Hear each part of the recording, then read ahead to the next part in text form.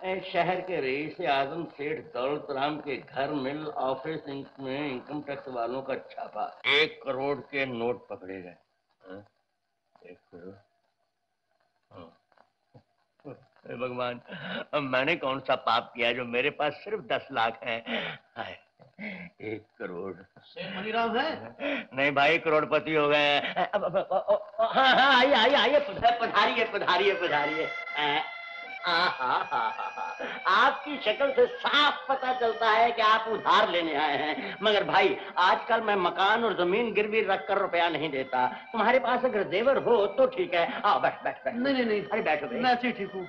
देखिए हाँ। आप ही सेठ मनीराम है ना? हाँ भाई मैं ही हूँ। एक ही तो शहर में सेठ है जो आप जैसे भद्र पुरुषों की सेवा करता रहता है। देखो भाई दो टके पर दूँगा। और जेवर भी बाईस या चौबीस कैरेट का होना चाहिए। चौदह कैरेट का धंधा मैं नहीं करता। ये बंदा कोई धंधा करने नहीं आया। है मैं तो आपका हिसाब किताब देखने आया हूँ। इनकम टैक्स नहीं sir, income tax income tax मैं बहुत गरीब पास क्या है। आप सेठ दौलत राम के घर जाइए। आपके दफ्तर वाले पहले वहाँ मौजूद है। ये रहा उसका पता। जाइए। मेरे पास तो सिर्फ़ आपका पता है। नहीं नहीं देखिए सर मैं आपके पाँव छूता हूँ। आप मेरा जो जी में आए देख लीजिए मगर हिसाब किताब न देखिए। देखिए मज़ाक छोड़िए हिसाब किताब निकालिए। ताकि मैं अपना काम शुरू करूँ। मैं हिसाब किताब नहीं दिखाऊँगा।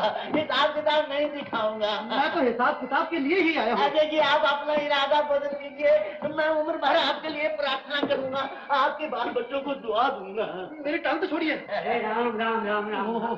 सेठ जी क्या आप जैसे धनमान को ये बात शोभा देती है? कि आप कल के लड़के के पाँव पड़े? अरे मैं इनके पाँव नहीं पढ़ू तो क्या तेरे पाँव पढ़ू ओह अब मैं समझा ज़रूर तूने रिपोर्ट लिखाई होगी। पहले अफसर को भेजी और पीछे पीछे खुद आ गया। है सेठ जी ये तो मेरा लड़का है राधे श्याम। राधे श्याम। अरे तेरे जन्म में किए पड़े मेरे मालिक को पाँव में गिरा दिया। बापू मेरा क्या कसूर? मैंने सेठ जी से हिसाब की किताब मांगी। इन्होंने ना देखा ना सुना एकदम मेरी टांग पकड़ ली। ये तो अच्छा हुआ बापू आप आ गए नहीं तो ये मेरी गर्दन भी पकड़ लेते।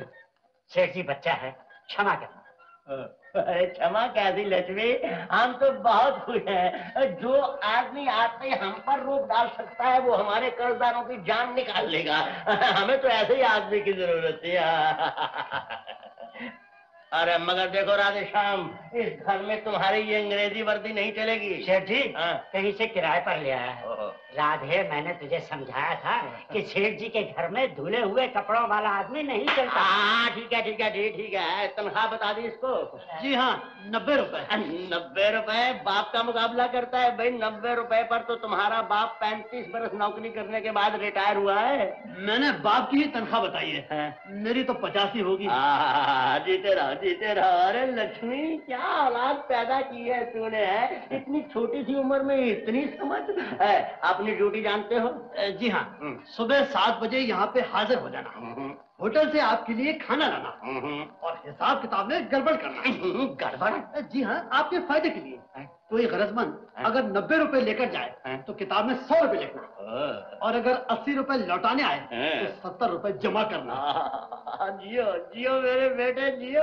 अरे लक्ष्मी ये लड़का तो गलती से तुम्हारे घर पैदा हो गया है। आदतों से तो इसको मेरी औलाद होना चाहिए था। कुत्ते वाली बात समझा दी इसको। जी हाँ वो भी याद है। आ, क्या? सुबह शाम दोनों वक्त हाँ। आपके कुत्ते को नहलाना। और जिस दिन कुत्ता बीमार हो जाए उस दिन? जिस दिन कुत्ता बीमार हो जाए हम्म। उस दिन मैं कुत्ते की जगह खुद ही भोंक लिया करूँगा। आ, जीते रहो बेटे कुत्ते की तरह भौंकना भी एक महान कला है। Gift of God uh, yes yes yes yes yes Lakshmi ji अब तुम जाओ और कल से राधे शाम को नौकरी पर भेजो और सुनो तुम बार बार यहाँ ना आया करो। तुम्हारी क्रियाक्रम पर मैं खुद ही पहुँच जाऊँगा। अच्छा सेठ जी अपना बच्चा ही समझना। नमस्कार। नमस्कार नमस्कार नमस्कार। मनी राम जी नमस्ते। मनीराम ना कहो भाई मालिक कहो मालिक। मालिक कहने में तुम्हारी ही इज़्ज़त है लोग कहेंगे हाय हाय किस मालिक का नौकर है? अच्छा अच्छा। मालिक मनी राम जी नमस्ते। हम्म, हम्म, जाती बार फिर मनीराम बीच में छोड़ गया है।